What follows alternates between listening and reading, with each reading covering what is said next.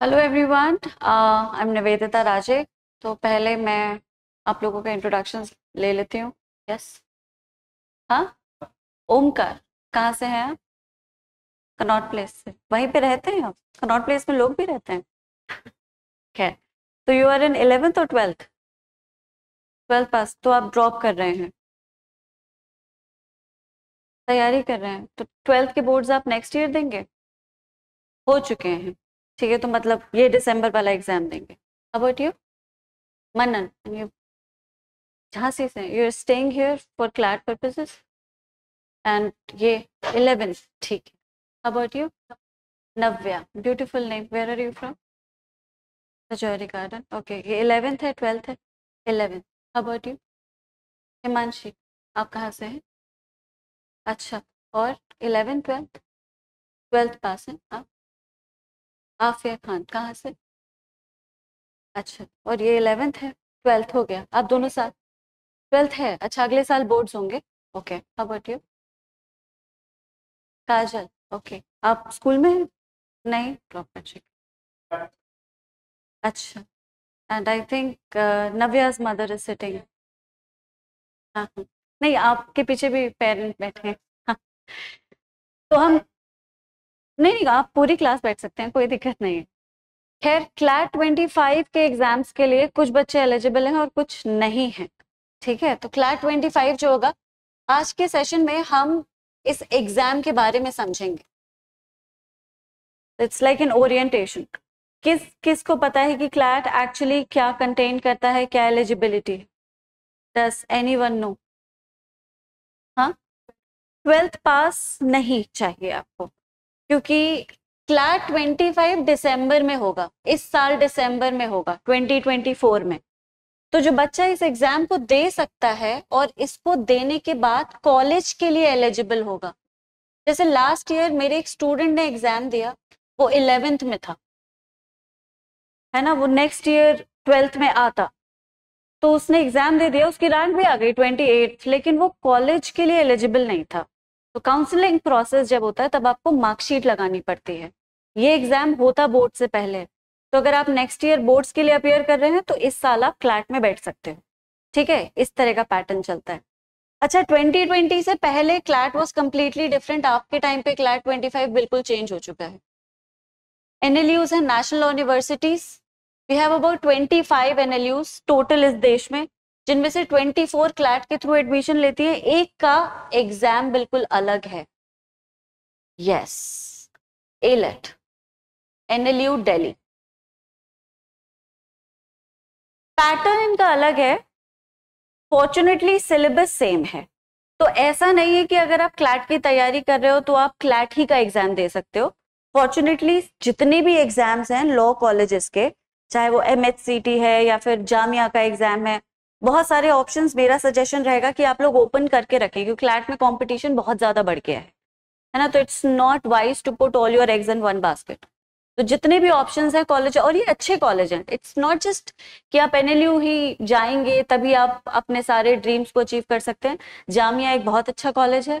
उसी तरह से एमएचसीटी से जो कॉलेज सबसे अच्छा जाता है, वो आईएलएस और जीएलसी है। जीएलसी बल्कि कुछ एन से भी बेटर है। उसके पैटर्न को हम बाद में समझेंगे। फिर एन है। उसके अलावा सी का एग्ज़ाम है, जिससे आप बनारस हिंदू यूनिवर्सिटी अलीगढ़ मुस्लिम यूनिवर्सिटी उन एग्ज़ाम्स के लिए एलिजिबल होते हो। टारगेट अपना क्लैट रहेगा, क्योंकि सबसे ज़्यादा और सबसे अच्छे कॉलेजेस इसी एग्ज़ाम से हमें मिलते हैं। ठीक है? अच्छा क्लैट अपने आप में यूनिक है, अपने पैटर्न की वजह से। वी हैव फाइव सब्जेक्ट्स सबसे पहले होता है जीके करंट अफेयर्स उसके बाद हमारे पास है लीगल रीजनिंग लीगल नॉलेज नहीं है ये रीजनिंग है. यही क्लैट थोड़ा सा बाकी एग्ज़ाम से अलग है. फिर है हमारे पास लॉजिकल रीजनिंग उसके बाद है मैथमेटिक्स क्वांट्स और इंग्लिश एक एक करके बात करते हैं इनके बारे में. जी के करंट अफेयर्स इमेजिन करिए, कोई दिल्ली हाई कोर्ट का या सुप्रीम कोर्ट का कोई जजमेंट आया, ठीक है? अब वो जजमेंट आपसे ऐसे के तैसे नहीं पूछा जाएगा। जी के करंट अफेयर्स में आपसे ये नहीं पूछा जाएगा कि जजमेंट में क्या था ये और वो सब्जेक्टिव नहीं है एग्ज़ाम क्लासरूम प्रोग्राम नहीं है ये, ठीक है? कि पूरे पूरे लंबे लंबे आंसर लिखने। मल्टीपल चॉइस से चूज़ करना है। लेकिन आपसे ये पूछ लिया जा सकता है कि भाई इस जजमेंट को देने वाले जज कौन थे? किसने जजमेंट दिया? है ना? डिलीवर किया। डिसेंटिंग अगर ओपिनियन है तो किसका था? मेजोरिटी ओपिनियन किन किन जजेस का था? बेंच में कौन कौन से जज थे? ये है करंट अफेयर्स जब हम स्टैटिक की बात करते हैं, मुझे पता है कुछ बच्चे लूसेंट खरीदते हैं, सबसे पहले उसे रटना शुरू करते हैं। मैं पर्सनली बच्चों को कभी नहीं कहती कि आप लूसेंट खरीदें। लूसेंट फ्लैट के लिए रेलेवेंट नहीं है। क्योंकि जैसे मैंने बताया स्टैटिक जीके जो है, वो करंट से रिलेट करती है। अब जजमेंट के बारे में हमने पढ़ लिया, ये करंट था। लेकिन जजमेंट देने वाला जज कौन था? उस जजमेंट का डिसेंडिंग ओपिनियन किस जज से निकला? ये स्टैटिक है। अगेन फिर दिल्ली में, अगर दिल्ली हाईकोर्ट का जजमेंट है तो दिल्ली में कुछ मॉन्यूमेंट्स हैं, कुतुब मीनार है, ये सब है, ये किसने बनवाया? अब ये हालाँकि है लूसेंट में, लेकिन ये रेलेवेंट बस इसलिए था क्योंकि हम दिल्ली स्टेट के बारे में पढ़ रहे थे। क्योंकि दिल्ली न्यूज़पेपर में था, बड़ा अच्छा जजमेंट निकल कर आया। तो स्टैटिक को करंट से कोरिलेट करके पढ़ा जाता है। लूसेंट खरीदने की ज़रूरत नहीं है। जितनी भी जीके होगी, वो क्लास में कवर हो जाएगी। The only thing that you are required to do is read newspapers daily ये हमें रोज पढ़ना है। इनको क्यों पढ़ना है, ये हम बाद में डिस्कस करेंगे। तो ये है जी के करंट अफेयर्स लीगल रीजनिंग में कुछ सब्जेक्ट्स हैं जो जिनमें से आता ही है question constitution of India obviously इस देश का कानून है लॉ ऑफ़ द लैंड कहते हैं इसको लेक्स टेरेन आएगा ही इससे क्वेश्चन फिर हमारे पास है क्रिमिनल कोर्ट जो कि अब चेंज हो चुका है, तीन लॉज हैं इसमें, है ना? फिर उसके बाद है हमारे पास टॉल्ट्स फिर है कॉन्ट्रैक्ट्स ये चार मेन हैं, इनमें से एक फैमिली भी है. फैमिली में सिर्फ़ हिंदू मुस्लिम लॉ और कोई नहीं आता. सबसे ज़्यादा लेंदी भी यही है. लेकिन ये भी कन्वेंशनल कम आते हैं। जैसे लेट्स से कि कोई आर्टिकल है आर्टिकल 14 के बारे में पता है किसी को? एनी नहीं पता? एक फंडामेंटल राइट right है। वी आर सिटीजन जब हम पढ़ेंगे तब आपको समझ आएगा। हम इंडियन सिटीजन को इस कॉन्स्टिट्यूशन ने कुछ बेसिक फ्रीडम दे रखी हैं, जो हमें सिटीजन होने के नाते मिलती हैं। तो आर्टिकल 14 इक्वालिटी का राइट right है। ठीक है, सब गवर्नमेंट के अकॉर्डिंग कॉन्स्टिट्यूशन के अकॉर्डिंग बराबर है। इतना सिंपल नहीं है ये, जितना मैंने समझा दिया। खैर तो हम कॉन्स्टिट्यूशन में कंसेप्ट को पढ़ेंगे, हम आर्टिकल्स पढ़ेंगे, हम उन्हें रटेंगे नहीं, हम सिर्फ़ पढ़ेंगे, समझेंगे कंसेप्ट को। फंडामेंटल राइट्स पढ़ेंगे कॉन्स्टिट्यूशन की कहानी समझेंगे। कॉन्स्टिट्यूशन में बहुत सारे चेंज हुए हैं, इस सेवेंटी ईयर्स में बहुत बदला गया है कॉन्स्टिट्यूशन उसका चेंज पढ़ेंगे, वो चेंज आया क्यों पढ़ेंगे? जो लेटेस्ट कॉन्स्टिट्यूशनल कोई डेवलपमेंट है या कोई भी ऐसी चीज़ जो हो रही है हो सकती है जिससे कॉन्स्टिट्यूशन पे असर पड़ सकता है। We might have a different interpretation all together वो सब हम पढ़ेंगे। लेकिन इत, इसको पढ़ने का सिर्फ़ एक ही रीजन है और वो रीजन है कि हमें कॉन्स्टिट्यूशन का फाउंडेशन बिल्ड हो जाए हमारे दिमाग में। We need to have a base article 14 से सीधा सीधा सवाल आएगा, ये कहना मुश्किल है। लेकिन अगर आर्टिकल 14 न्यूज़ में रहा है किसी वजह से, या फिर उस पर कोई नया डेवलपमेंट हुआ है, जैसे अभी कर्नाटका ने मुस्लिम्स को ओबीसी की कैटेगरी में डाल दिया। अभी बहुत बड़ा मूव है, रिजर्वेशन पे बात कर रहा है, बहुत सारी बातें हो रही है। रिजर्वेशन सीधा आर्टिकल 14 का पार्ट है। ये न्यूज़ में तो ये इंपॉर्टेंट हो गया, इस पे सवाल आ सकता है। ठीक है तो हम रट नहीं सकते। क्लैट वो रटने वाला एग्ज़ाम अब रहा ही नहीं। बिल्कुल भी नहीं। एक टाइम था जब मैंने क्लैट दिया था 2010 में मैंने दो बार क्लैट दिया यूजी और पीजी दोनों। 2010 यूजी के लिए और 2017 पीजी के लिए। मैंने अंडर ग्रेजुएट किया एनएलयू लखनऊ से और पीजी किया नालसार से। तो उस टाइम पे अगर आपने रट लिया बढ़िया तरह से वो आपने यू नो मक कर लिया you have a good knowledge basically तो आप क्लैट निकाल लोगे। लेकिन आजकल तुम लोगों की जनरेशन अलग है। इंस्टाग्राम फेसबुक का जमाना है।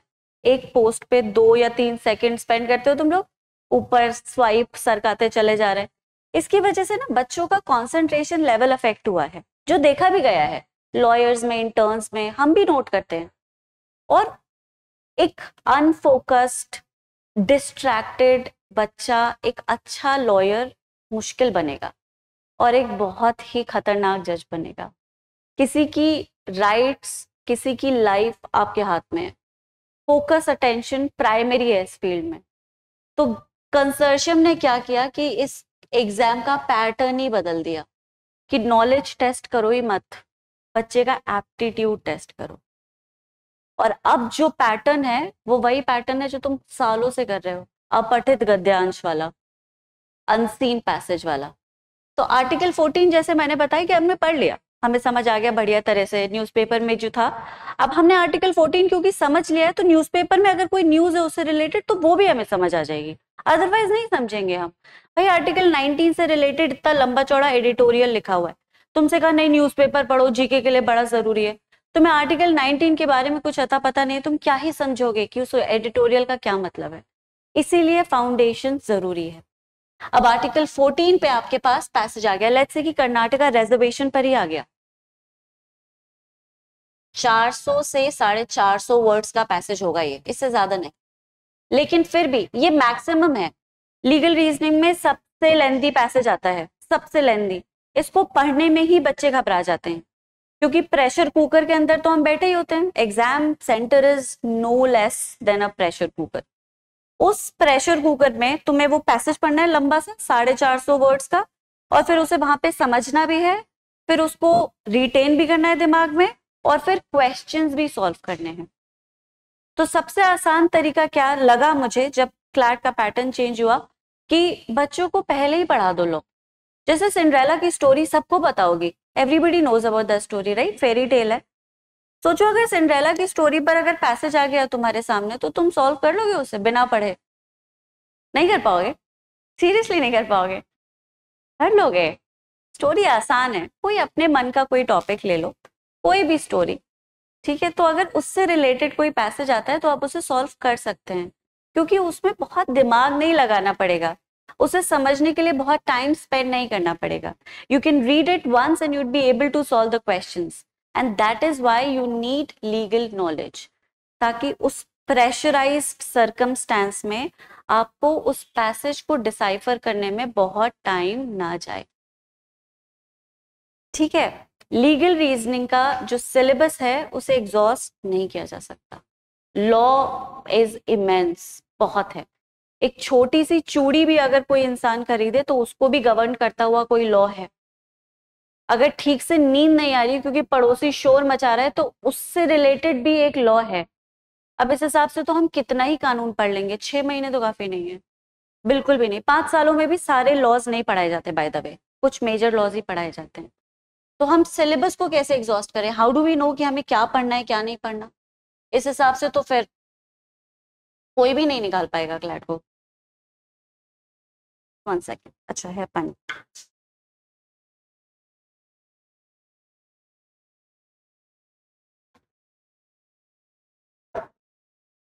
वही रोल पे प्ले करता है ये।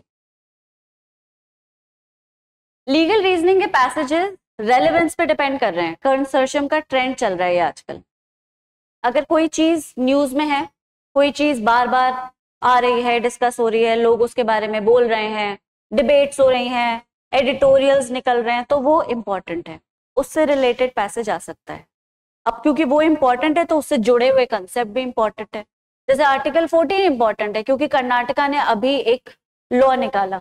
अब क्योंकि आर्टिकल 14 इंपॉर्टेंट है तो उससे जुड़े हुए भी आर्टिकल्स इंपॉर्टेंट है। कोई भी फंडामेंटल फ्रीडम अकेली नहीं आती, वो साथ में बहुत सारी चीज़ों को लेकर आती है। 15 भी इंपॉर्टेंट है 16 भी इंपॉर्टेंट है 17 भी है और 18 भी है। ये पाँचों आर्टिकल्स मिलके इक्वलिटी की राइट को क्रिएट करते हैं। हम ये पढ़ लेंगे। ये हो गया रेलेवेंट तो constitution contract torts criminal family के अलावा हम वही लॉस पढ़ेंगे जो रेलेवेंट रहे, क्योंकि पैसेज भी उन्हीं में से आएगा। राइट बेसिक बेसिक आपको लगभग जितने भी रेलेवेंट रहे हैं लॉज उनका बेसिक आपको दे ही दिया जाएगा। इतना दे दिया जाएगा कि आप अच्छे से, उससे रिलेटेड कोई भी पैसेज आता है, उसे, उसमें कंफ्यूज नहीं होंगे। आप उसे पढ़ लेंगे और समझ भी लेंगे। ठीक है तो लीगल रीजनिंग को हम इस तरह से तैयार करेंगे। विल स्टार्ट विद टॉर्ट्स और contracts probably and then we'll finish it off और उसके बाद फिर हम रेलिवेंट करंट सिनेरियो पर आएँगे कि न्यूज़पेपर में क्या क्या डेवलपमेंट हुए। तो लास्ट का जो टाइम रहेगा सेशन का बैच का, वो सारा का सारा करंट डिस्कस करने में जाएगा। क्योंकि करंट को ढूंढना भी अपने आप में बहुत बड़ा चैलेंज है कि कैसे समझोगे कि भाई क्या इंपॉर्टेंट था, क्या करंट लीगल था, क्या मतलब एडिटोरियल मुझे पढ़ना है। न्यूज़पेपर इज़ ह्यूज बच्चे कंफ्यूज हो जाते हैं बोर भी हो जाते हैं। ठीक है तो वो classroom will take care of it you won't have to face any kind of stress और प्रेशर ओके ये हो गया लीगल रीजनिंग अच्छा पैसेज के बारे में बात कर रही थी। अब पैसेज आपने पढ़ा पैसेज पढ़ लिया। पैसेज से रिलेटेड क्वेश्चन कैसे आएगा रीजनिंग में? ठीक है, इस बात को समझो, एक एग्ज़ाम्पल से समझते हैं।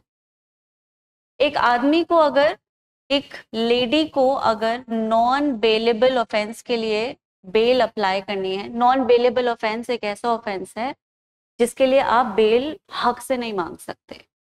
जनरली जब आदमी कोई क्राइम करता है तो उसे बेल का राइट है। वो बेल डिमांड कर सकता है और कोर्ट को उसे बेल देनी पड़ेगी। Bail can be demanded as a matter of right लेकिन कुछ ऑफेंसेस बहुत सीरियस होते हैं और उनके लिए बेल नहीं मिलती। और वो ऑफेंसेस होते हैं नॉन बेलेबल ऑफेंस ऐसा नहीं कि उसमें बेल मिल ही नहीं सकती, मिल सकती है, लेकिन कोर्ट डिसाइड करेगा कि आपको बेल मिलनी चाहिए या नहीं। ठीक है? अब सोचो बेल पे कोई पैसेज है नॉन बेलेबल ऑफेंसेस पे बेलेबल ऑफेंसेस पे पैसेज है, और पैसेज में असेंशियल्स दे रखे हैं कि अगर बेल डिमांड करनी है नॉन बेलेबल ऑफेंस में तो कोर्ट देखेगा कि भाई ट्रायल तो अफेक्ट नहीं होगा। ट्रायल नॉट अफेक्टेड आदमी अपियर हो सकता है, क्योंकि ट्रायल में हियरिंग्स होंगी। अगर वो कस्टडी में नहीं है, जेल में नहीं है, अपने घर में रह रहा है तो हो सकता है कोर्ट ना आए और ट्रायल अफेक्ट हो जाए। तो वो इजीली कोर्ट आएगा, उसके अपेयरेंस को इंश्योर किया जा सकता है। तीसरा, वो कहीं एविडेंसेस से छेड़छाड़ तो नहीं करेगा, जो कि अगेन डिसीज़न को अफेक्ट करें ठीक है? अगर ये तीनों चीज़ें पॉजिटिव हैं तो कोर्ट बेल दे देगा। पैसेज में यही इंस्ट्रक्शंस मतलब इंस्ट्रक्शंस क्या, ये एक्सप्लेनेशन दे रखी है असेंशियल दे रखे हैं। क्वेश्चन कैसे आएगा?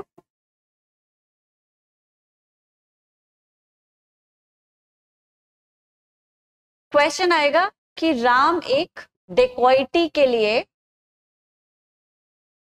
अक्यूज है कस्टडी में लिया गया है। अब वो कोर्ट से दूर रहता है। लेट्स से कि उसके अपियरेंस को प्रोक्योर करना मुश्किल है, वो हैंडीकैप्ड है।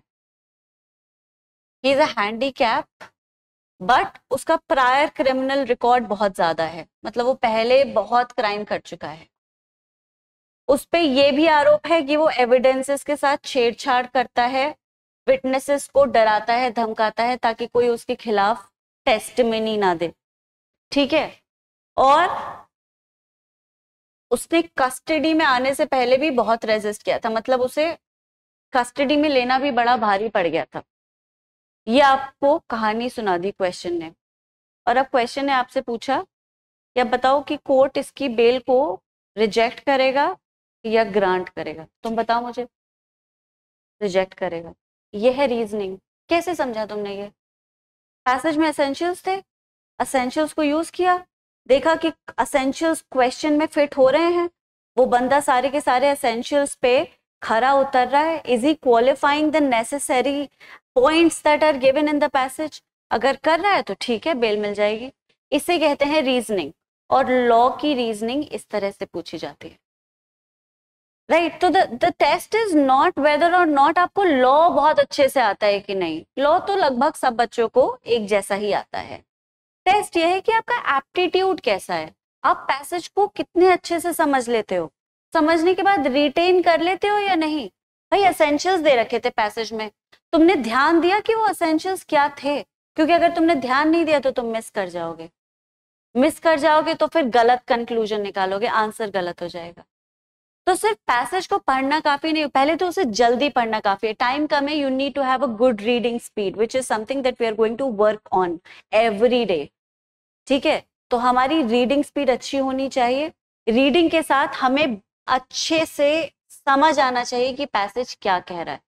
वो हमें तभी समझ आएगा जब हमें बैकग्राउंड इन्फॉर्मेशन हो। हमें पता हो कि भाई नॉन बेलेबल ऑफेंसेस क्या होते हैं बेलेबल ऑफेंसेस क्या होते हैं, क्या कंडीशंस हो सकती हैं। एक प्रायर नॉलेज हमें सपोर्ट करेगी उस पैसेज को जल्दी पढ़ने में और उसे डिसाइफर करने में ठीक है? उसके बाद आपका एप्टीट्यूड आप कितना उसे रिटेन कर सकते हैं? दिमाग में कितना बैठा सकते हैं? कितना अच्छा आपका अटेंशन और फोकस है? क्योंकि अगर फोकस और अटेंशन नहीं होता बच्चे में तो वो एक लाइन पढ़ता है और दूसरी लाइन भूल जाता है। वापस से फिर एक लाइन पढ़ता है तीसरी पर, तक आते आते पहली दो भूल जाता है। और इस चीज़ को करने में वो पैसेज को कई बार पढ़ता है। और एक पैसेज सॉल्व करने में पंद्रह बीस मिनट खर्च हो जाते हैं और दो घंटे का पेपर है। आइडियली तुम्हारे पास एक क्वेश्चन को सॉल्व करने के लिए सिर्फ़ पाँच मिनट है। क्वेश्चन नहीं पैसेज मतलब पाँच क्वेश्चन को सॉल्व करने के लिए पाँच मिनट है। एक पैसेज में पाँच ही क्वेश्चन आते हैं। तो आपको इस हिसाब से अपने आप को तैयार करने की मैं फाइव मिनट्स में पैसेज पढ़ के सॉल्व कर सकूँ। ऐसा लगता है कि डिफ़िकल्ट है ट्रस्ट मी होता नहीं है उतना डिफ़िकल्ट थोड़ी प्रैक्टिस थोड़ा सा सिंसियरिटी थोड़ा सा डेडिकेशन आ जाता है सब कुछ। ये है लीगल रीजनिंग इस तरह के क्वेश्चंस ये एक सिंपल क्वेश्चन है एक डेरिवेटिव क्वेश्चन इन्हें एप्लीकेशन बेस्ड क्वेश्चन कहते हैं। फिर येस और नो क्वेश्चंस आ सकते हैं। येस और नो क्वेश्चन में राम का एग्ज़ाम्पल ले लेते हैं। राम ने बेल अप्लाई की और उसकी बेल रिजेक्ट हो गई और उसने इस चीज़ को चैलेंज कर दिया। क्या वो चैलेंज क्या उसका चैलेंज एक्सेप्टेड होगा? यस yes, उसका चैलेंज एक्सेप्ट हो जाएगा। ये पहला ऑप्शन दूसरा उसका चैलेंज एक्सेप्ट नहीं होगा क्योंकि वो असेंशियल उसको क्वालिफाई नहीं कर रहा। तीसरा उसका चैलेंज एक्सेप्ट हो जाएगा क्योंकि बेचारा हैंडीकैप्ड है। चौथा उसका चैलेंज एक्सेप्ट हो जाएगा क्योंकि हम लोगों को जेल में नहीं भर सकते, हमारे जेल ओवर बहुत ज़्यादा ओवर क्राउडेड है। ऐसे ऑप्शंस भी आ जाते हैं। क्या होगा तुम्हारा सही आंसर ऑप्शन बी ये यस एंड नो क्वेश्चन है। ये भी रीजनिंग के क्वेश्चन है। डिफ़िकल्ट लगा। इजी था ना? इजी है। बस थोड़ी सिंसियरिटी की ज़रूरत है। पढ़ते रहेंगे पढ़ते रहेंगे, सब बहुत इजीली हो जाएगा। अगेन डेडिकेशन इसी तरह से बाकी सब लॉज में क्वेश्चन आते हैं। कोई भी लॉ आप उठा लो आईपीआर हो टॉट हो आईपीआर मतलब इंटेलेक्चुअल प्रॉपर्टी राइट कॉन्ट्रैक्ट हो क्रिमिनल हो, उनमें क्वेश्चंस रीजनिंग पे ही आएँगे। आपको ये नहीं देखा जाएगा, आपसे ये एक्सपेक्टेशन नहीं है कि अरे आपने रिसर्च करके रखिए। आपको केस याद है या नहीं? आपको साइटेशन मतलब केस कौन से ईयर में आया है, ये याद है कि नहीं? केस का नंबर याद है कि नहीं? सेक्शन नंबर याद है या नहीं? आर्टिकल नंबर ये क्वेश्चन नहीं आते। तो जब भी मैं सेक्शन पढ़ाऊं और तुम्हें सेक्शन देखे 55 या 53 तो घबराने की ज़रूरत नहीं है और ये बिल्कुल सोचने की ज़रूरत नहीं है कि मैम, इसे भी रटना पड़ेगा क्या? हमें याद करना पड़ेगा कि सेक्शन 55 में ये है सेक्शन 60 में ये बिल्कुल नहीं। लेकिन हाँ रॉबरी है क्या? ये समझना है। रॉबरी किस नंबर पे फिट की गई है लॉ में? इसे नहीं याद रखना। ठीक है? चलो, अब तीसरे सेक्शन पे आ जाते हैं लॉजिकल लॉजिकल रीजनिंग के क्वेश्चंस कभी, वैसे तो आप लोगों ने नहीं किए होंगे स्कूल में नहीं करवाए जाते। लेकिन हाँ लॉजिकल रीजनिंग भी एक सिंपल एप्टीट्यूड है कि आपकी you know how good at are you in analysing questions चाहे वो क्रिटिकल एनालिसिस हो या किसी भी और तरह का एनालिसिस हो. पजल जैसे let's say A B C D और इसका लॉजिकल सीक्वेंस बना वन टू थ्री फोर फिर उसके बाद तुम्हें दे दिया X W X Y Z अब तुमसे पूछ लिया कि इसका लॉजिकल सीक्वेंस बना। अगर तुम इन दोनों का कनेक्शन स्टैब्लिश कर सकते हो तो इसका भी लॉजिकल सीक्वेंस निकाल लोगे निकाल लोगे ना? यही है लॉजिकल रीजनिंग ये एक तरह का क्वेश्चन है। कुछ टॉपिक्स हैं लॉजिकल रीजनिंग के। थैंकफुली लॉजिकल रीजनिंग इतनी वास्ट नहीं है। कुछ ही टॉपिक्स हैं और उन्हीं टॉपिक्स को हमें बार बार प्रैक्टिस करना होता है, उन्हीं टॉपिक से क्वेश्चन आते हैं। बस ये है कि आपको जो कहानी है, वो पैसेज में आएगी। मतलब there will be a passage और उस पैसेज से आप कुछ चीज़ों को ड्रॉ करेंगे और फिर उस उस कंक्लूजन के बेसिस पे आपको क्वेश्चन सॉल्व करना होगा। It seems hard but it is not practice करते करते आ जाता है। Logical reasoning is relatively simple exam का लगभग ट्वेंटी परसेंट है।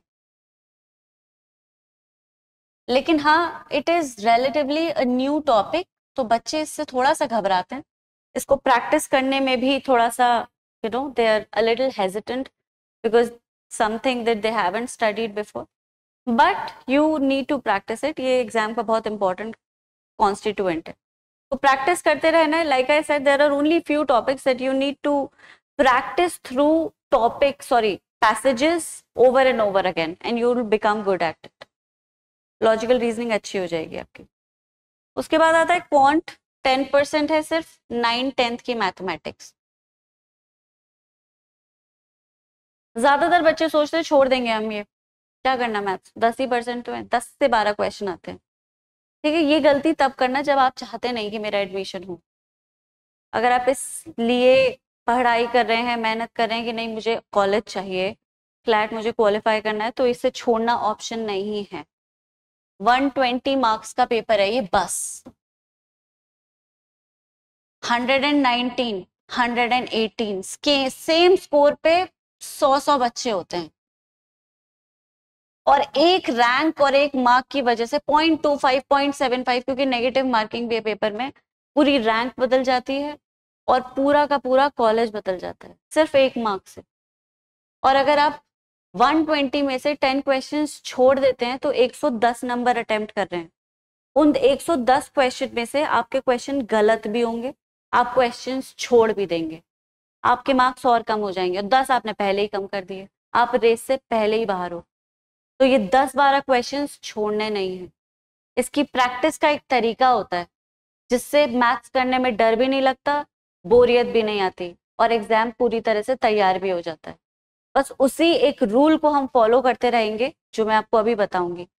उस रूल को तुम्हें बिल्कुल एंड तक फॉलो करना है एग्जामिनेशन के end I promise you this will become very easy in fact मैं सजेस्ट करती हूँ बच्चों को सेकेंड नंबर पे वो इसी सेक्शन को अटेम्प्ट करें। पॉइंट्स को। सबसे पहले लीगल की तरफ़ ना भागे। उसके बाद आती है इंग्लिश इंग्लिश कंपेटिटिव इंग्लिश अलग होती है थोड़ी। जो इंग्लिश तुम लोगों ने स्कूल में पढ़ी है, कितने बच्चे आईसीएससी से हैं? सब सीबीएसई वाले हैं? हम्म। आप सीबीएसई से नहीं हो तो दिल्ली बोर्ड से हो। उसमें होता है ये सब? आईसीएससी जैसी ग्रामर होती है उसमें? अच्छा। सीबीएस अच्छा ये तो बहुत अच्छी बात है, फिर तो आपको फ़ायदा मिलेगा। एनी हाउ जो इंग्लिश तुम पढ़ रहे हो अपनी ग्यारहवीं, बारहवीं में, वो बिल्कुल नहीं आती यहाँ पे। वो नोटिस और यही सब तो करवाते रहते हैं राइटिंग स्किल्स ग्रामर बिल्कुल छूट जाती है पीछे। ग्रामर है इसमें। अ लॉट ऑफ़ इट वो रेन एंड मार्टन वाली। ठीक है? तो parts of speech figure speech active passive indirect direct sentence structure formulation और क्या क्या होता है? बहुत सारी चीज़ें होती हैं। इंग्लिश में पढ़ाती नहीं तो इतना टच में नहीं हूँ।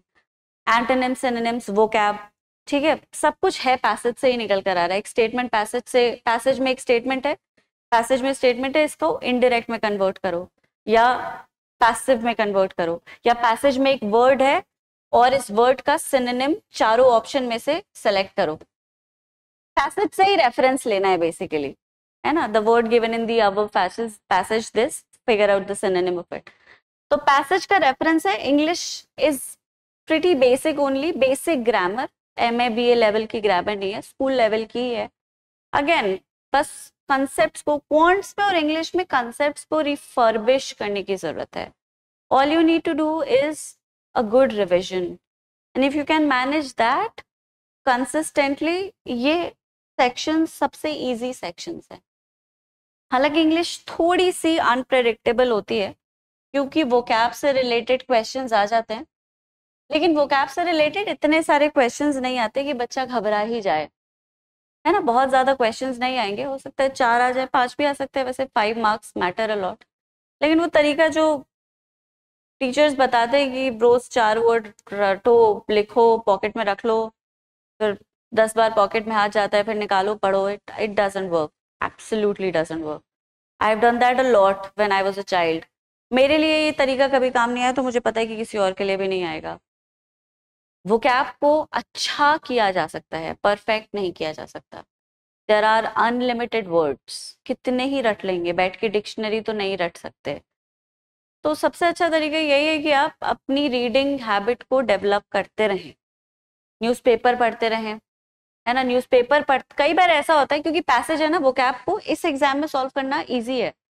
जैसे कि पैसेज में पूरा का पूरा कॉन्टेक्स्ट है, कहानी दे रखी है। स्टेटमेंट है, ऊपर नीचे बैकग्राउंड है। तो कई बार स्टेटमेंट पढ़ के पैसेज की कहानी पढ़ के वर्ड का मीनिंग डिराइव हो जाता है है ना? और अगर तुम्हारे दिमाग में आ रहा है कि भाई इस स्टेटमेंट के हिसाब से पैसेज की कहानी के हिसाब से, इस वर्ड का ये कुछ मीनिंग होना चाहिए। और अगर उसे मिलता जुलता तुम्हें मिल गया ऑप्शन में तो हो गया तुम्हारा क्वेश्चन सॉल्व इसको कॉन्टेक्स्ट के बेसिस पे सॉल्व किया जा सकता है। आर एस अग्रवाल लेकर आप, हालाँकि पैसेजेस को सॉरी क्वेश्चंस को प्रैक्टिस कर सकते हैं वो कैप कर सकते हैं प्रैक्टिस लेकिन उनमें से कितने वर्ड्स फंसेंगे, ये कहना थोड़ा मुश्किल है। तो the best way is to just you know practise your reading reading अगर प्रैक्टिस करते रहेंगे तो कॉन्टेक्चुअल डेवलपमेंट जो होता है वो समझ आ जाएगा। कॉन्टेक्स्ट के थ्रू वर्ड का मीनिंग कैसे निकालना है, इसकी प्रैक्टिस हो जाएगी। And this is the only way you can actually work on your vocab skills ठीक है? अच्छा परसेंटेज डिस्कस कर लेती हूँ मैं। जीके का, ये तो बहुत ज़्यादा मैसअप कर दिया मैंने।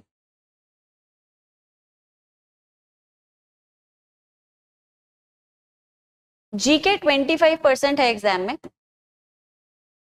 लीगल भी 25 परसेंट है एग्ज़ाम में. English is 20 percent maths 10 percent and logical also 20 percent दो पार्ट्स में डिवाइडेड है ये पेपर जीके और लीगल 50 परसेंट है, एक कोना और ये तीन सेक्शन मिलके बनाते हैं 50 परसेंट स्टूडेंट्स क्या मिस्टेक करते हैं? कंपेटिटिव प्रिपरेशन में स्कूल के बच्चे ये गलती करते हैं कि इन पे जुट जाते हैं, बिल्कुल दिन रात एक कर देते हैं इनको ठीक करने में। क्योंकि इनको लगता है कि भाई यही तो है मेजर सेक्शन एग्ज़ाम का पचास परसेंट है, ये पचास परसेंट को तो अच्छा करना ही है। और ये कहीं पीछे छूट जाते हैं। These section remain untouched not untouched but you know Less paid attention to this is the biggest mistake if you are actually serious about qualifying for the first time in your first attempt, you need to make sure that you are paying attention to all these five sections. In dono section पे you can only put a limited amount of effort. GK और legal हर school के बच्चे का same रहता है law का syllabus same है। Law वही रहेगा। न्यूज़पेपर सबके पास है। मैगजीन सब पढ़ लेते हैं। करंट लीगल में हो सकता है आप थोड़ा सा आगे बढ़ जाएँ, क्योंकि अगर आपके पास गाइडेंस बेटर है। You might have a little more information as compare to other students but the understanding of law and the legal aptitude would remain the same trust me और जीके भी वही है। जीके में तुम extra क्या ही पढ़ लोगे। सेम ही तो है। Everybody is referring the same source तो यहाँ पे बच्चे लगभग लगभग सेम ही रहते हैं। Everybody is on an equal pedestal nobody is exceptionally good nobody is too bad everybody is you know more or less the same the challenge is here जो रैंक होल्डर्स होते हैं, वो इन तीनों पे अपने आप को बढ़िया you know they they get a good command over these three sections अपने आप को वो इन तीनों में बढ़िया कर लेते हैं। लॉजिकल और मैथ को you know you can really really make it good क्योंकि ये प्रेडिक्टेबल सेक्शन हैं. The syllabus is very limited pretty exhaustive the percentage would be thirty percent जो कि अगेन पेपर का काफ़ी अच्छा चंक हो गया. बहुत ज़्यादा डिफ़िकल्ट भी नहीं है. अगर लगातार प्रैक्टिस की जाए तो आप अच्छा स्कोर कर सकते हैं. प्लस इनमें स्कोर करना ईजी भी है. कोई थेरी नहीं है. कोई कंसेप्ट नहीं है कोई नोट्स नहीं बना, बनाने कोई पोथा नहीं खरीदना कुछ नहीं करना। इनको बस प्रैक्टिस करना है बस प्रैक्टिस और अगर आप उस बेसिक प्रैक्टिस को लगातार करते रहते करते रहते तो इन सेक्शंस में अच्छी पकड़ बनाना आसान है। इंग्लिश की भी रेगुलर अगर आप प्रैक्टिस करते रहे स्पेशली ग्रामर की तो मुश्किल नहीं होगा। अगर आप इस 50 परसेंट को सॉलिडिफाई कर लेते हैं और इसमें किसी तरह से 30 परसेंट मैनेज कर लेते हैं तो 80 परसेंट मार्क्स की गारंटी हो जाएगी। 80 परसेंट से थोड़ा कम भी हो तो भी सिलेक्शन हो जाएगा। The point is that you need to pay attention to all these five sections, not just GK and legal. मैंने देखा है कि बच्चा जब क्लास शुरू करता है तो लीगल लॉ इंटरेस्टिंग है कहानियाँ होती हैं केसेस होते हैं उन्हें पढ़ने में मज़ा आता है।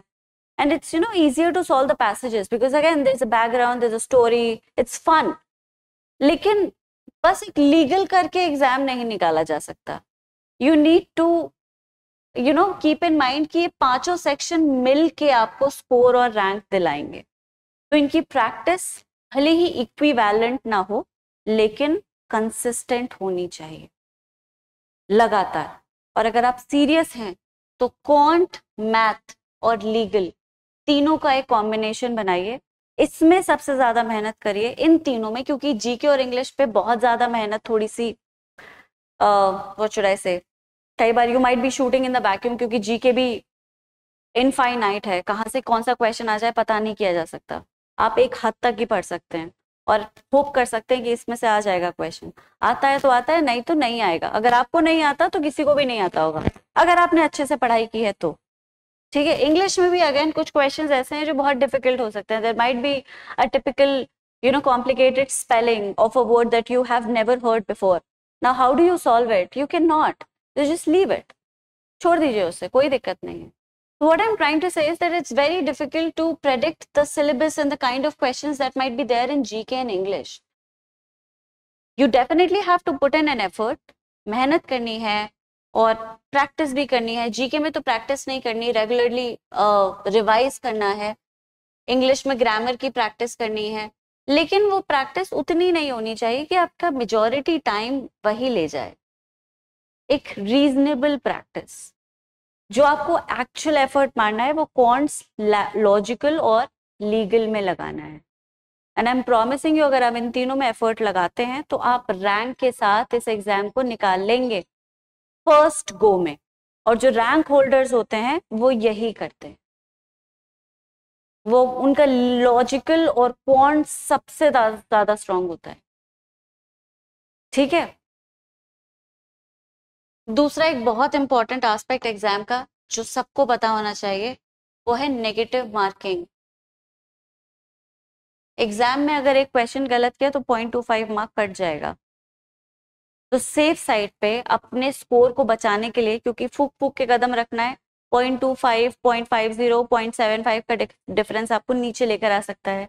जो कॉलेज आपको चाहिए, हो सकता है वो आपके हाथ से चला जाए, और सिर्फ़ थोड़े से ही मार्क्स का डिफरेंस हो। तो इसलिए इससे not play with it you can not play with it you have to be very very strategic while attempting the question paper अगर आता है तो अच्छा है सॉल्व करो, नहीं आता तो छोड़ दो। You can not test your luck exam वाले दिन में। मॉक में आप कर सकते हैं रिस्क ले सकते हैं, वरना रिस्क नहीं लेंगे तो सीखेंगे कैसे? नहीं भी आता तो भी सॉल्व कर लो। ठीक है, अगर गलत हो जाएगा तो कम से कम पता तो चल जाएगा कि गलत क्यों हो गया।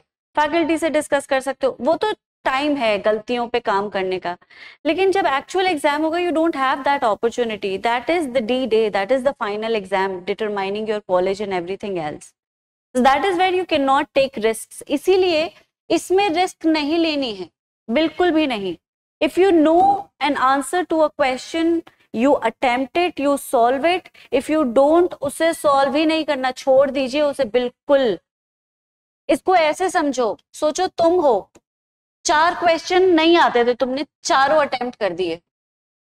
तुम्हारा दोस्त है, उसे नहीं आते थे, उसने छोड़ दिए। अब इसको तो चार मार्क का नुकसान हुआ, लेकिन तुम्हें पाँच का हो गया। तुम एक मार्क पीछे हो गए उससे। तुम सेम लेवल पे थे, तुम दोनों को ही चार क्वेश्चन नहीं आते थे, लेकिन तुम्हारे नंबर ज़्यादा कट गए। इसलिए इसके साथ बिल्कुल कोई भी रिस्क नहीं लेना। नो रिस्क व्हाट्स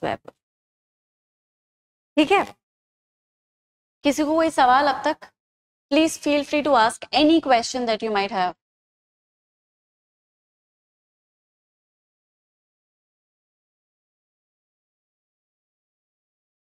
इसके लिए क्या? एक क्लैट के लिए? अनफॉर्चुनेटली एक पर्टिकुलर किताब, एक पूरी किताब है नहीं क्लैट के लिए। क्योंकि सिलेबस डाइवर्स है टेस्ट पेपर बनाने में बहुत मेहनत लगती है। ऐसे ही एमसीक्यूज तो बन जाते हैं, लेकिन पैसेज से क्वेश्चन बनाना डिफ़िकल्ट है। मैं देख रही हूँ कि पब्लिशर इतनी मेहनत करने को राज़ी नहीं हो रहा। है कोचिंग में जितना पढ़ाया जा रहा है, उतना पढ़ो। हाँ बोलो। नहीं, कुछ कह रहे थे? कुछ नहीं। जितना क्लास में पढ़ाया जा रहा है, उस पर ध्यान दो, क्योंकि एक्स्ट्रा जी के जस्ट नो पॉइंट ठीक है? यूपीएससी की मैगजीन दृष्टि आईएएस की मैगजीन नहीं उठानी है। विजन आईएएस की मैगजीन नहीं उठानी है। किसी भी आईएएस की मैगजीन नहीं उठानी है पीडी भी नहीं उठानी है। ये मैगजीन्स आईएएस की प्रिपरेशन करते हुए बच्चों के लिए बनाई गई है, तुम्हारे लिए नहीं है। ये तुम्हारा टाइम वेस्ट करेंगी और टाइम इतना नहीं है। लेट्स फेस इट हमारे पास छह महीने एग्ज़ाम की तैयारी करने के लिए। दिसंबर में एग्ज़ाम है, कुछ बच्चों के लिए, जो इलेवेंथ में उनके लिए तो मैं तो सजेस्ट करूँगी कि आप इस साल एग्ज़ाम दे दें।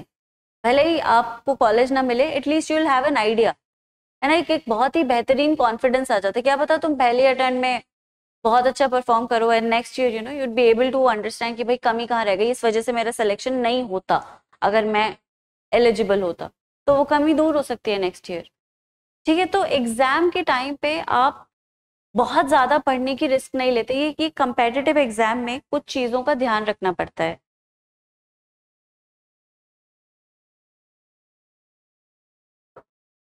हम यहाँ पढ़ने के लिए आए हैं प्रिपरेशन के लिए आए हैं पेपर कलेक्ट करने के लिए नहीं आए। है ना most of the students buy all kind of books that are available in the market जितनी भी अच्छी लीडिंग अथॉरिटीज है बुक सेलर कहते हैं, अरे, ले जाओ, बहुत अच्छी है, सब बच्चे खरीद रहे तुमने भी खरीद ली। ठीक है मल्टीपल सब्जेक्ट्स की तीन तीन, चार चार बुक्स खरीद ली। वो खाली पड़ी रहेंगी, उनको सॉल्व नहीं करेंगे आप।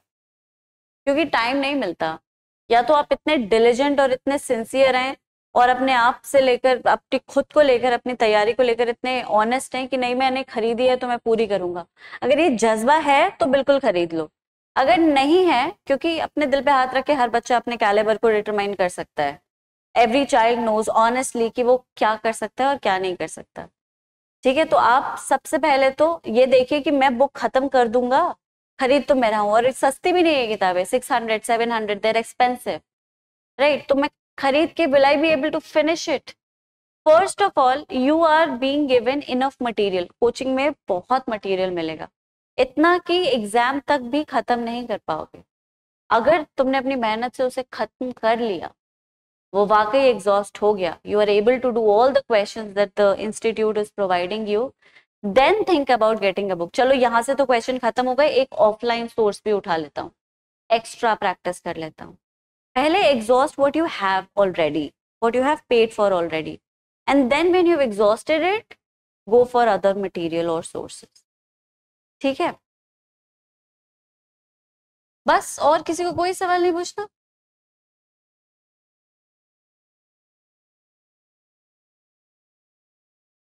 You can be free feel free to ask anything it's okay I am assuming कि किसी को अब तक कोई प्रॉब्लम नहीं है। एग्ज़ाम का पैटर्न समझ आ गया है। अच्छे से समझ आ गया सेक्शंस क्या करना है, कैसे करना है, ये भी समझ आ गया है। गुड स्ट्रैटेजी डिस्कस कर लें, फिर तैयारी शुरू करनी है हमें। क्या कॉलेज प्लान किया है तुम लोगों ने? बताओ एक एक करके चलो। कोई सा ही मिल जाए? ओके लेकिन फिर भी कुछ तो मन में होता ही है ना कि ये कॉलेज मिल जाए। अच्छा सबको पता है कि कौन कौन से कॉलेजेस बहुत अच्छे हैं और कौन से टीयर टू पे हैं? ये तो अंदाज़ा होगा है ना? तो तुम्हें है इस चीज़ का अंदाज़ा। देखो uh, कुछ कॉलेजेस हैं एनएलयू जैसे आई हैं। तो आई की तरह कुछ एन की रैंक बहुत अच्छी है। एन एल बैंगलोर है नालसार है है ना? एन यू है जोधपुर है भोपाल भी अच्छा कॉलेज है। तो ये टीयर वन कॉलेजेस है बहुत अच्छे कॉलेजेस हैं। इनमें सबसे ज़्यादा फर्म्स आती हैं प्लेसमेंट के लिए। सबसे ज़्यादा कंपनीज़ आती हैं प्लेसमेंट के लिए। ये कॉलेजेस अपने बच्चों को एक अलग एक्सपोजर देते हैं।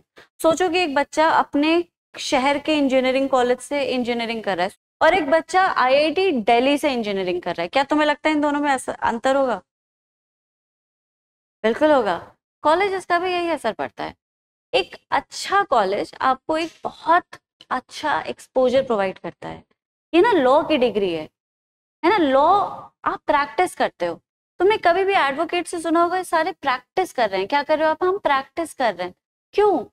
क्योंकि आप परफेक्ट नहीं बन सकते इसमें। हर दिन लॉ बदल जाता है। हर साल कोई नया इंटरप्रिटेशन आ जाता है। आप परफेक्ट बन ही कैसे सकते हो? एक डॉक्टर कभी परफेक्ट नहीं बन सकता।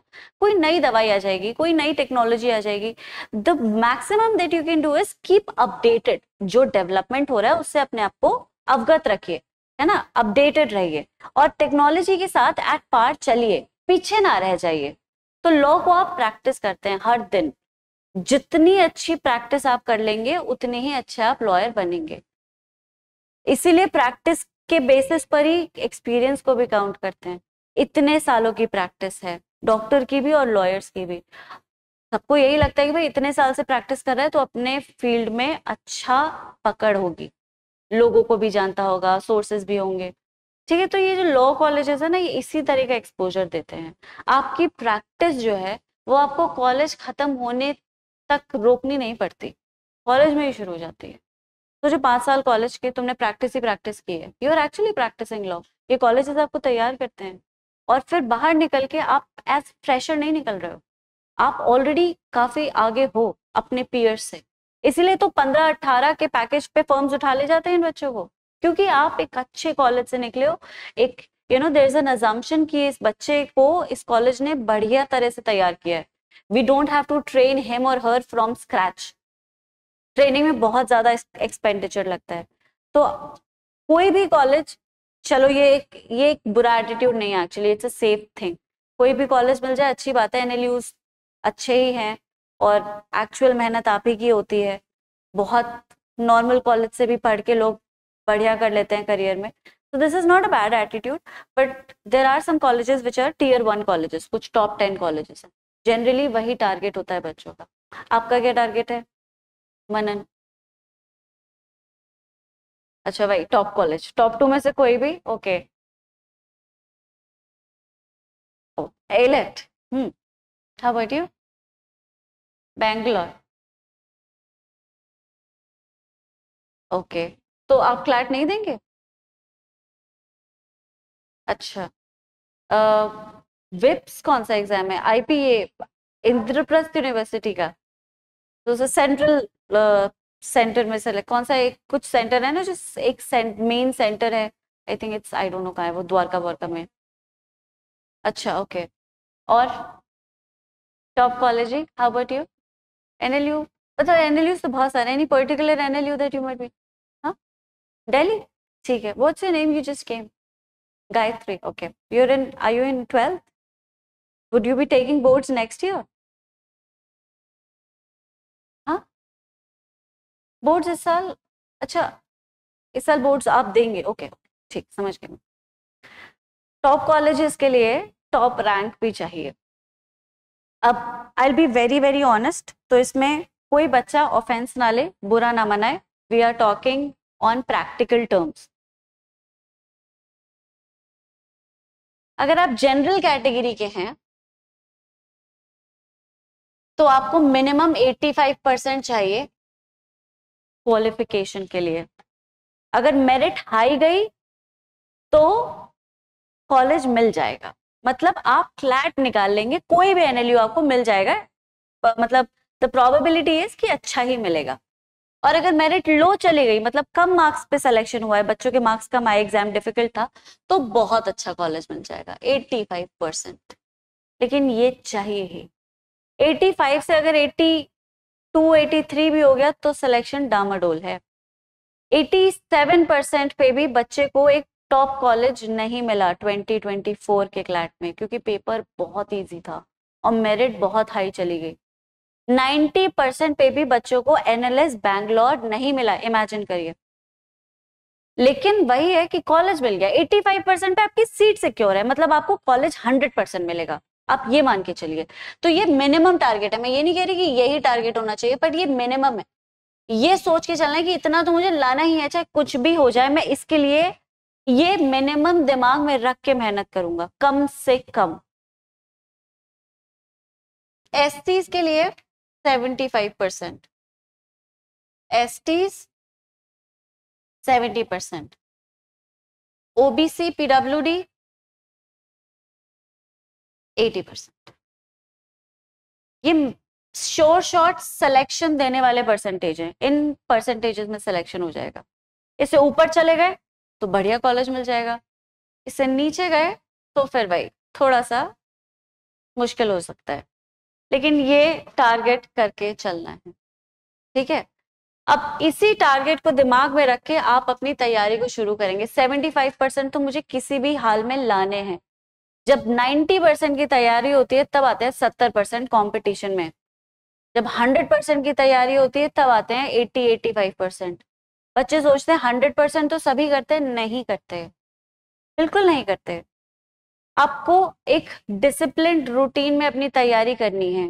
कंपटीशन मज़ाक नहीं है। और ये स्कूल से बहुत अलग है। तीन हज़ार सीट्स के लिए सिक्सटी थाउज़ेंड बच्चा बैठ रहा है। और देर देर दो दो सालों से बच्चे प्रिपरेशन कर रहे हैं। आपको छह महीने में प्रिपेयर करना है और उनके लेवल तक आना है। ताकि आप उनकी मेहनत के एट पार हो जाए। जितनी मेहनत उन्होंने की है, कम से कम उतनी तो बराबरी हो जाए। वरना कॉलेज कैसे मिलेगा? है ना? जस्टिस तो ऊपर वाला भी करता है भाई, जिसने ज़्यादा मेहनत करी है, उसी को मिलेगी ना? अपॉर्चुनिटी तुम्हें कैसे मिल जाएगी? बच्चे पूछते थे मुझसे कि पंद्रह मतलब कॉलेज के एग्ज़ाम पंद्रह दिन है, मैम, पंद्रह दिन मेहनत करूँ तो हो जाएगा सिलेक्शन मैम, चार दिन में मेहनत करूँगा तो हो जाएगा नहीं होगा। इनफैक्ट छह से चार महीने भी कर दोगे तो भी सिलेक्शन मुश्किल हो जाएगा। ऐसा नहीं कि होगा नहीं, हो तो जाएगा। दो महीने की तैयारी में बच्चे निकाल तो लेते ही हैं बट वही टॉप रैंक नहीं निकलती। इसके लिए एफर्ट चाहिए। इसके लिए मेहनत चाहिए और मेहनत बहुत ईमानदारी से चाहिए। सबसे पहले आप क्या करेंगे?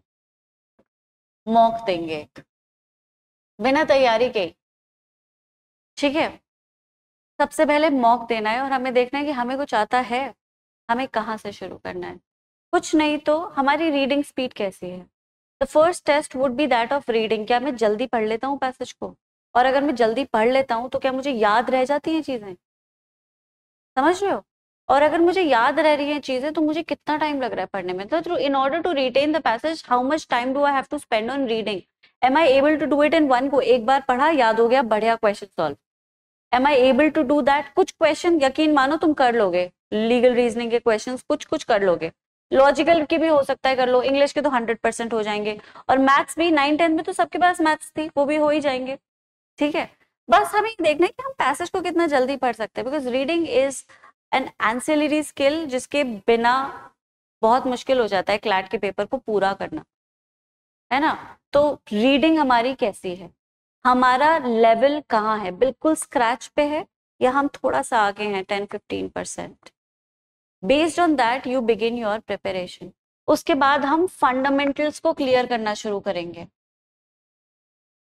हम इन सारे, जितने भी हमने ये सब्जेक्ट्स मैंने डिस्कस किए, उनको डिस्कस करेंगे कि भाई कॉन्स्टिट्यूशन क्या है, पजल्स क्या है, ब्लड रिलेशंस क्या है मैथ्स के कंसेप्ट को रिवाइज करेंगे simple interest profit and loss basic arithmetic little bit of algebra here and there थोड़ा सा ज्योमेट्री थोड़ा सा मैंसोरेशन वही जो नौवीं, दसवीं में पढ़ा था। इंग्लिश में हम अपनी ग्रामर को थोड़ा सा फिर से you know we'll redo it we'll do it afresh फिर से समझना है रिविजिट करना है। और ये हम कंसेप्ट अपने फंडामेंटल्स को क्लियर करना शुरू करेंगे। हमारी अप्रोच क्या रहेगी? मतलब तुम लोगों की अप्रोच क्या रहनी चाहिए? जिस दिन क्लास में जो भी पढ़ाया गया मेक श्योर sure कि उस टॉपिक से रिलेटेड तुमने पैसेज किए हैं। मैं सिर्फ़ लीगल पढ़ाऊँगी, सारे सब्जेक्ट्स नहीं पढ़ाऊँगी मैं। लीगल में I can take care of you I make sure कि मैंने जो पढ़ाया है, उससे रिलेटेड तुम पैसेज उस दिन कर लो। वो पैसेजेस मैं तुम्हें क्लास में ही दूँगी। बट इन केस अगर दूसरा फैकल्टी ऐसा नहीं कर रहा है तो ये तुम्हारी रिस्पॉन्सिबिलिटी है कि मैं उस सब्जेक्ट से, उस टॉपिक से रिलेटेड पैसेज उसी दिन प्रैक्टिस करूँ। अगर दो क्लास हुई है तो मुझे मिनिमम छह पैसेजेस करने हैं। अगर मैंने तुम्हें पाँच कंसेप्ट पढ़ाए तो पाँच कंसेप्ट के पाँच पैसेज या फिर, जैसे हम इस महीने को क्रॉस कर लेंगे, हर कंसेप्ट के दो पैसेज मतलब टेन पैसेजेस ईच हर दिन। ये हमारी स्ट्रैटेजी रहेगी। आई नो ये बहुत डिफ़िकल्ट लगता है, मेहनत ज़्यादा होती है, लेकिन बच्चे कुछ बड़ा करने के लिए मेहनत भी करनी पड़ती है, बिना मेहनत के कुछ नहीं निकलता। जब हम स्मार्ट वर्क और हार्ड वर्क की बात करते हैं तो स्मार्ट वर्क का ये मतलब नहीं होता कि उसमें मेहनत है ही नहीं। मेहनत है उसमें, लेकिन स्ट्रेटेजी के साथ है मेहनत। It's a strategic hard work right that that is what we call smart work it still has a lot of effort तो we will practise every topic that we are studying every day हर दिन करेंगे हम उसे, ताकि हमें वो याद हो जाए। और उससे रिलेटेड उस किसी भी तरह का सवाल हो, चाहे वो यू नो क्रिटिकल रीजनिंग का हो या यस एंड नो क्वेश्चन का हो या प्रिंसिपल फैक्ट क्वेश्चन हो या फिर सब वो कंसेप्ट बेस्ड हो नॉलेज टेस्टिंग हो नॉलेज टेस्टिंग भी आ जाते हैं तो वो हमें आए, हम कर लें उसे। ठीक है, इसको प्रैक्टिस करने का और रिटेन करने का उस टॉपिक को यही तरीका है। और ये सिर्फ़ लीगल रीजनिंग में नहीं होना चाहिए, सब में होना चाहिए। Promise me will do it ठीक है you will do it no matter what चाहे कैसे भी टाइम निकले, आप कर सकते हैं ये। स्कूल जाने वाले बच्चों के पास भी, मुझे पता है तुम लोगों का शेड्यूल क्या होता है। सब कुछ करने के बाद, सोना leisure time Instagram friends Facebook school coaching सब कुछ करने के बाद भी you still have about six hours remaining ये सब अगर ठीक से करो, ज़्यादा ना करो, हर चीज़ लिमिट में करो तो 18 घंटे नहीं लगते। आठ घंटे सोने के बाद फिर भी छह घंटे हमारे पास बच जाते हैं। उन छह घंटों में क्या हम दो सब्जेक्ट भी नहीं कर सकते? बिल्कुल कर सकते। दो क्या तीन भी कर सकते हैं। शुरुआत में थोड़ा सा ज़्यादा लगेगा। You might feel a little bit burden but as it start bearing result जैसे जैसे रिज़ल्ट आने लगेगा कॉन्फिडेंस आने लगेगा। जब हम देखते हैं कि हम मेहनत कर रहे हैं तो एक यू you नो know, अंदर से कुछ है जो आपको बताता है कि तुम मेहनत कर रहे हो टेंशन मत लो सब ठीक होगा। और ये चीज़ लॉन्ग रन में बहुत कॉन्फिडेंस देती है। एग्ज़ाम के प्रेशर में स्पेशली बहुत कॉन्फिडेंस देती है और ये ज़रूरी है। तो हम ये करेंगे रोज हम प्रैक्टिस करेंगे उन सारे टॉपिक्स की जो मैम ने क्लास में पढ़ाए हैं जो सर ने क्लास में पढ़ाए हैं।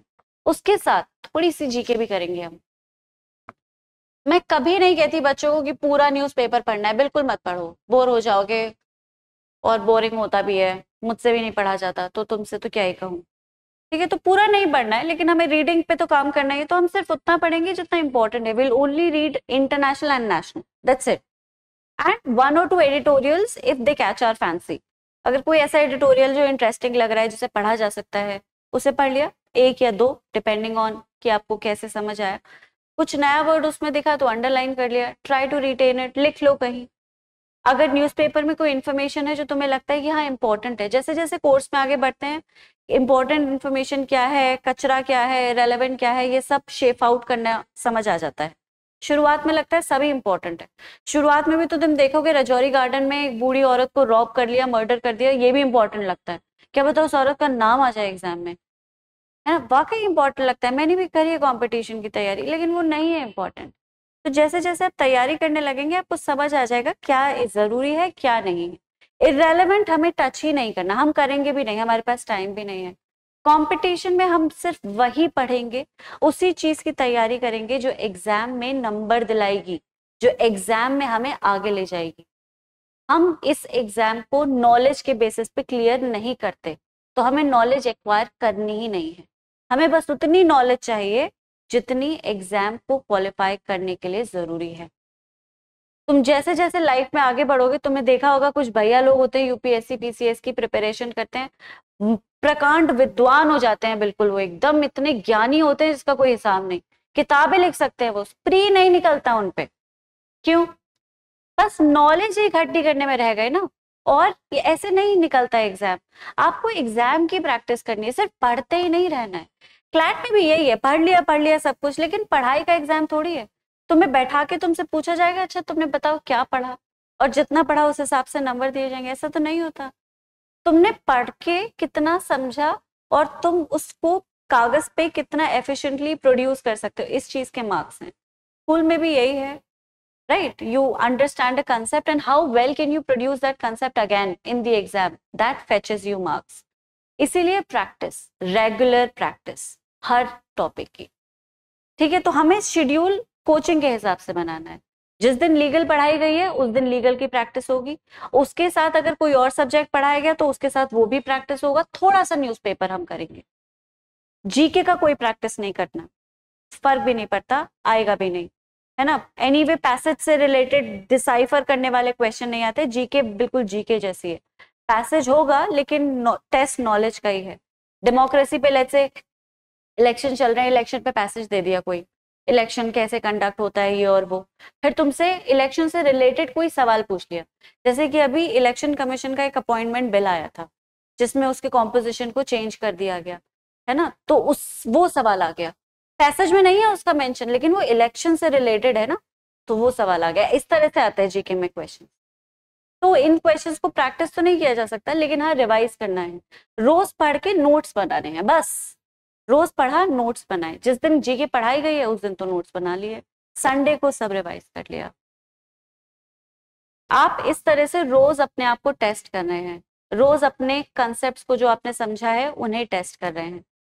और हम मॉक्स को कब करेंगे ये मैं तुम्हें बताऊँगी। उससे पहले अभी सिर्फ़ अपनी रीडिंग को टेस्ट करने के लिए मॉक देना है। इस महीने हम मॉक नहीं देंगे। इनफैक्ट हम नेक्स्ट मंथ के फिफ्टींथ तक कोई मॉक अटेम्प्ट नहीं करेंगे। हमें सिर्फ़ डिसअपॉइंटमेंट मिलेगा हम डिस्करेज हो जाएँगे हमारा गोल ये नहीं है। हम इस वक्त जो पढ़ेंगे उसी की प्रैक्टिस करेंगे। और जब हमारा सिलेबस 20, 25, 30 परसेंट हो जाएगा अगले महीने तक तो मैं तुम्हें 40 परसेंट तक ले जाऊँगी। तब हम मॉक देंगे, क्योंकि हम 40 परसेंट पे हैं, है ना? 40 परसेंट पे मॉक दिया जा सकता है। And it is only to test कि हमें और क्या पढ़ना है, हमें और बेहतर क्या करना है। समझ आ गया? तो ये हमारी स्ट्रैटेजी रहेगी डे वन से। ये ओरिएंटेशन आज के दिन ही है, जब पढ़ाई नहीं हो रही, कल से पढ़ाई शुरू हो जाएगी। ओके तो promise me that you are going to practise question every day with me legal I think you have every day a class of legal as far as I am made to understand हर दिन legal की एक class है, इसी time पे है छः से आठ। तो बस आपको रोज पढ़ना है, रोज प्रैक्टिस करनी है पैसेजेस मैं आपको क्लास में ही दूँगी। और घर जाके वो पैसेजेस करने हैं। नेक्स्ट डे हम सिर्फ़ पंद्रह मिनट क्लास के एंड में निकालेंगे ये डिस्कस करने के लिए कि स्कोर क्या था और तुम्हारा क्वेश्चन गलत क्यों हुआ। आंसर्स हम नेक्स्ट डे डिस्कस करेंगे। वो आंसर सही क्यों है? आपका आंसर गलत क्यों है? That is what we are going to do in legal right and a similar exercise should be maintained in every other subject. I'll make sure that you are given passages in every other section also. अगर उस section से related कोई question है जो अटक जाता है तो मेक श्योर sure कि वो डिस्कस भी हो रहा है। जो गलती हुई है, हमें सिर्फ़ पैसेज नहीं सॉल्व करना है। हमें पैसेज को सॉल्व करके एनालाइज भी करना है। अब मैं अपनी क्लास में तो ये कर सकती हूँ, बाकी क्लास पे विल हैव टू सी हमने सवाल किए चार। उनमें से दो सही हो गए, दो गलत हो गए, एक गलत हो गया, एक हमने छोड़ दिया। ठीक है? ये हमारी एक्यूरेसी रही। अभी दो सही हो गए, बहुत अच्छी बात है, लेकिन इसमें देखो मैंने टाइम कितना लिया इनको सॉल्व करने में। अगर मैंने जल्दी कर दिया तो बहुत अच्छी बात है। One minute for one question यही तो बताया मैंने। वन मिनट वन क्वेश्चन अगर इससे ज़्यादा लगा तो देर इज़ अ प्रॉब्लम फिर तो देखना है कि भाई क्यों क्यों टाइम लिया मैंने? गलती क्या हुई? भले ही मैंने सही किया लेकिन टाइम ज़्यादा ले लिया। उसके बाद जो गलत हुआ है वो गलत क्यों है? कंसेप्ट नहीं आता था मुझे। पढ़ा नहीं मैंने कुछ। कुछ भूल गया। ठीक है? कुछ गलत सम, समझ के बैठा हूँ। एक्चुअल कंसेप्ट वो नहीं है। एक्चुअल प्रॉब्लम क्या है? ये क्यों छूट गया? टाइम कम था, मैं घबरा गया। ये क्वेश्चन मैंने पहले पढ़ा ही नहीं कभी। ये कॉन्सेप्ट तो मैंने कभी डिस्कस ही नहीं किया। इस बेसिस पे हम लिख लेंगे अपनी प्रॉब्लम कि ये ये प्रॉब्लम हुई हमें। हर क्वेश्चन पे हम प्रॉब्लम्स लिख लेंगे। हमारा नेक्स्ट टेस्ट में यही फोकस होगा कि ये प्रॉब्लम वापस फेस ना करें। ठीक है? तो ये प्रॉब्लम लिखते जाएँगे प्रॉब्लम्स को ओवरकम करते जाएँगे, क्योंकि यकीन मानो हर टेस्ट के साथ एक नई प्रॉब्लम क्रिएट हो जाएगी। आइडिया ये रहना चाहिए कि एंड तक कम से कम नहीं तो 70 80 परसेंट प्रॉब्लम्स तो खत्म हो जाए, क्योंकि 20 परसेंट एग्ज़ाम में भी आ जाती हैं। बट वो इतनी फेटल नहीं होती है, वो छोटी छोटी कमियाँ होती हैं, जो हर बच्चे को होती हैं। तो वो इतनी फेटल नहीं होती एग्ज़ाम में बहुत कुछ गहरा इम्पैक्ट नहीं डालती। ठीक है तो this is how it is going to run the course the entire course any question any one अब तुम लोग स्कूल से कितने बजे आ जाते हो? How what time do you all come back from school people who are going to school तीन बजे आ जाते हैं हम again two ten I heard ten चला गया कैसा स्कूल है? वैसे दस बजे स्कूल खत्म हो जाए तो क्या ही हो, नहीं? है। तो two ten what's your schedule is like आपका क्या स्केड्यूल है? What do you do the entire day घर पे रहते हो तुम? ठीक है तो अब तुम्हारे लिए आसान है तो तुम तीन सब्जेक्ट उठाओगे, दो नहीं, ठीक है? एक सब्जेक्ट जो पढ़ाया गया है, एक सब्जेक्ट जो मैं बताऊँगी और एक जी के ठीक है? That is going to be his strategy you go to school हाँ? डमी स्कूल तो तुम भी घर पे ही रहते हो तो तुम्हारे भी तीन सब्जेक्ट होंगे। लीगल तो हम रोज कर ही रहे हैं, एक सब्जेक्ट वही, जो मैं आपको बताऊँगी, उसके आपको मतलब ऐसे तो दो क्लासेस होनी चाहिए। लेट्स से कि कोर्स किस तरह से प्रोसीड कर रहा है। This is a first class for me also Drishti की ओवरऑल फ़र्स्ट क्लास है ये क्लैट की। तुम पहले क्लैट के बच्चे हो जो दृष्टि के बच्चे हो गए ठीक है तो अगर तुम लोगों का रिज़ल्ट निकलता है तो भाई Drishti has outdone herself again पहले बच्चों ने ही निकाल दिया कॉलेज ठीक है तो we'll decide subjects to do every day हम रोज डिसाइड करेंगे। अगर मैं नहीं भी पढ़ा रही हूँ वो सब्जेक्ट तो भी मैं उन्हें मॉनिटर करूँगी। I am going to monitor your performance at every level मुझे अपने बच्चे निकलते हुए चाहिए। Last year I taught 120 students जिसमें से 98 का सिलेक्शन हो गया था। I don't want to break that streak हर, कुछ बच्चे नहीं ही निकाल पाते हैं। आप कितनी भी मेहनत कर लो उनके साथ। ठीक है?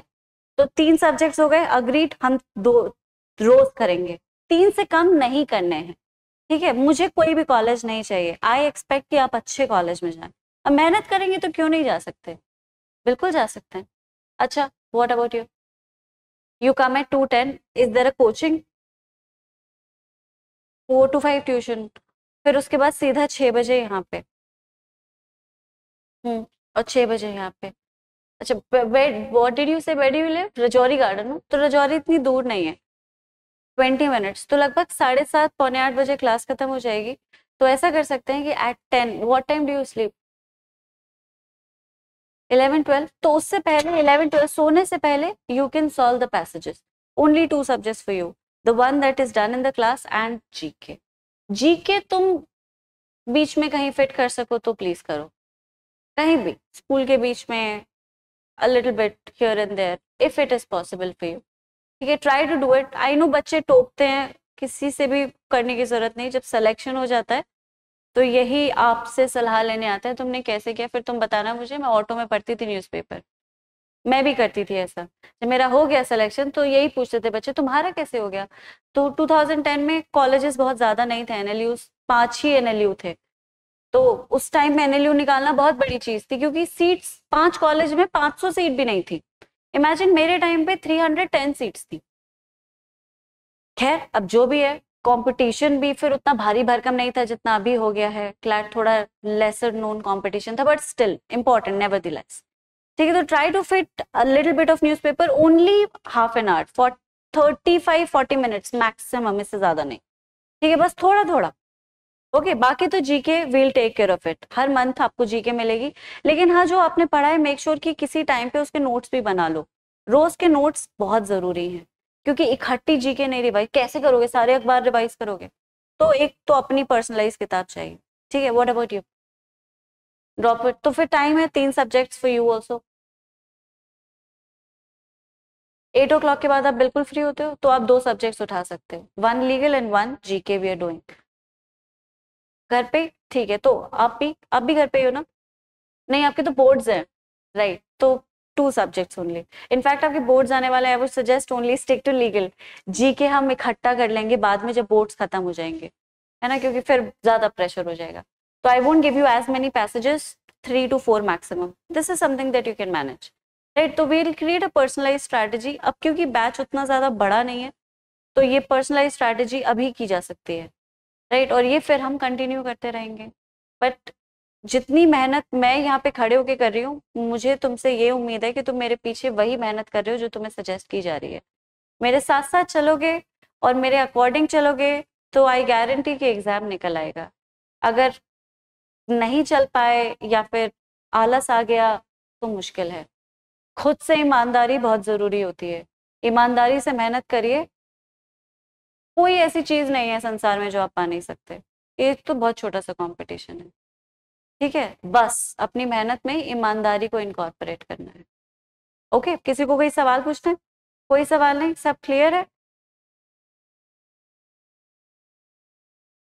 Right so I think we land here and we shall meet again tomorrow ठीक है? कल मिलते हैं हम और हाँ? बुक्स कब तक मिल जाएँगे? आई थिंक बुक्स मिल जानी चाहिए। आप में से मतलब ट्रायल क्लास के लिए कौन है और फुल कंप्लीट एडमिशन कौन है? कंप्लीट एडमिशन है। सभी कंप्लीट है। आप ट्रायल आप ट्रायल पे हो। आप भी ट्रायल पे हो। कंप्लीट एडमिशन हो। अच्छा। You are on a trial okay तो you are also on trial तो जो कंप्लीट एडमिशन हो चुका है I think you'd be getting your course this week only maximum by next week same time L C मतलब legal we have we are done with the course सब कुछ draft हो चुका है। बस डिलीवर करना है। वो डिलीवर अगले हफ़्ते तक, इसी टाइम तक हो जाएगा। Thursday Friday maximum okay no worry about that चलो that's it for today guys thank you so much I shall see you tomorrow